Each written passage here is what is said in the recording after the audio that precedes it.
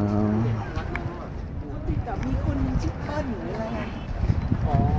มีลูกชื่อเรียกแบบว่าเป็นคนที่วัดอะเปิ้ลเป็นผู้หญิงใช่ไหมล่ะใช่แล้วก็หลังก็ใครอะลูกของคนที่เขาอยู่เขาก็ยังติดต่อกับชื่อเปิ้ลน้องเปิ้ลอยู่เอ๊ะแต่ว่าเปิ้ลเปิ้ลไม่ได้ไปอยู่ UCL ที่ขอน